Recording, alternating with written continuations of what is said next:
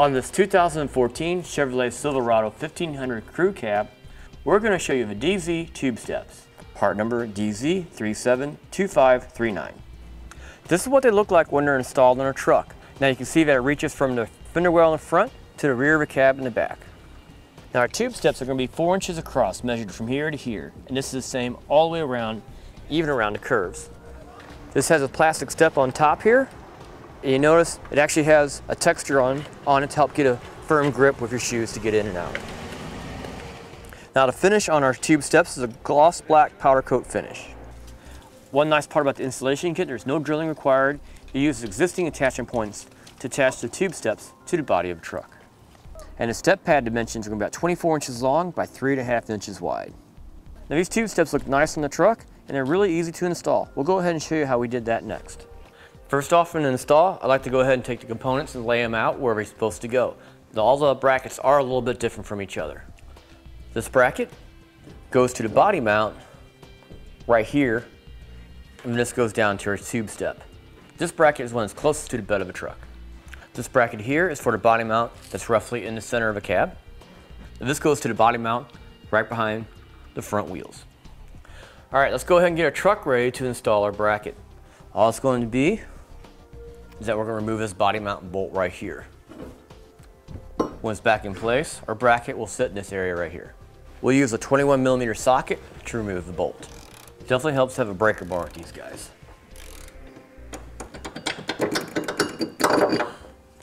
Okay, now our instructions don't show using this flat washer. We'll set it to the side. Our bolt will go through our bracket. Rubber washer to run it loosely back into place.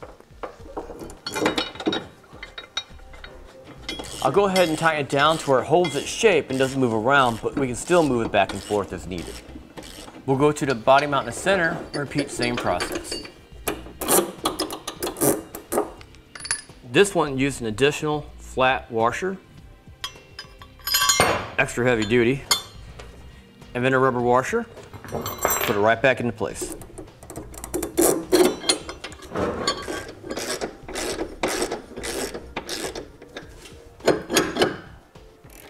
All right, our last bracket up by our front wheel. We'll go ahead and loosen it up and install it.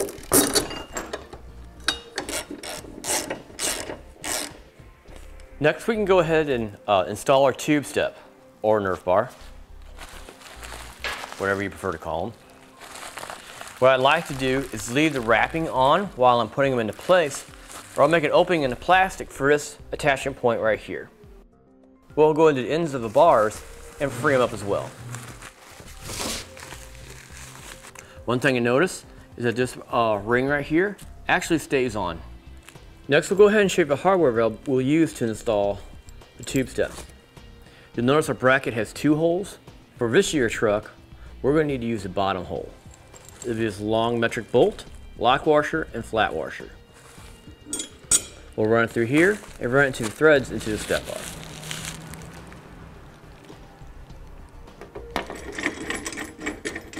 We'll get it loosely started, just enough to hold its shape, and we'll go to the other side of the truck up by the front wheel and repeat the same process with the same hardware. Next, we'll go ahead and install the hardware for the center, which will be the smaller metric bolt with a lock washer and a flat washer. This will go through the bracket, but we'll have an additional spacer or plastic washer that will go between this bracket and a tube step. And this will thread into a pre-existing fitting on the tube step.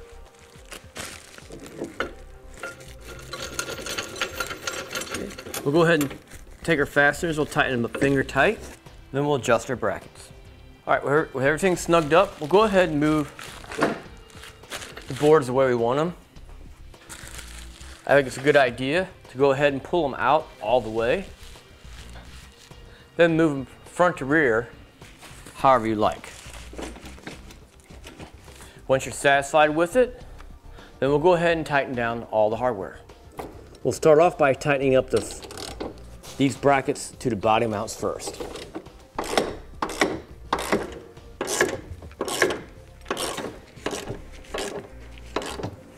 Next, we'll go ahead and torque the bolts down as specified in the instructions. Now I'll work our way back towards the front, tighten down the hardware from the tube steps to the bracket.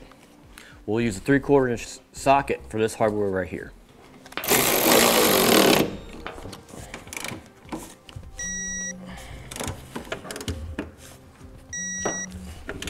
For a fastener in the center, we'll go ahead and use a 17 millimeter socket.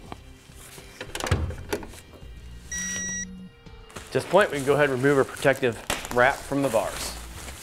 With this, our driver's side is installed. We'll go ahead and repeat the same process for everything over on the passenger side. And with that, that'll finish it for a Dee Zee tube steps. Part number DZ372539 on this 2014 Chevrolet Silverado 1500 Crew Cab.